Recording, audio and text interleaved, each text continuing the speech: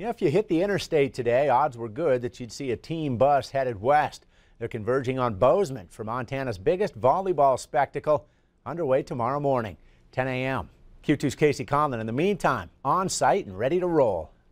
It's the calm before the storm here inside Brick Breeden Fieldhouse. Tomorrow, 32 teams take the courts in four classes with their eyes on state volleyball championships come Saturday.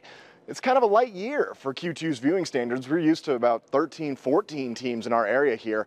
This year, only nine, but we'll start with some heavy hitters. The Billings Senior Broncs, who come in undefeated. Now, it's kind of a title drought.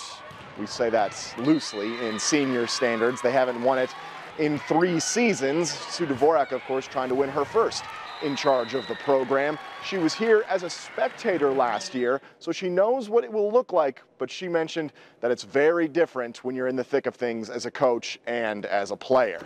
In Class A, Billings Central has only lost to senior this season, once early in a tournament in North Dakota, and another time a couple of weeks ago at the Nellis Center. Otherwise, they've rolled through Class A competition, including a couple of wins over Belgrade, who they consider to be one of their main rivals. They open their tournament against Stevi in the first set of games at 10 a.m. Surprise, surprise, Huntley Project is your favorite on the Class B court. The Red Devils just continue to show how dominant of a volleyball program they have.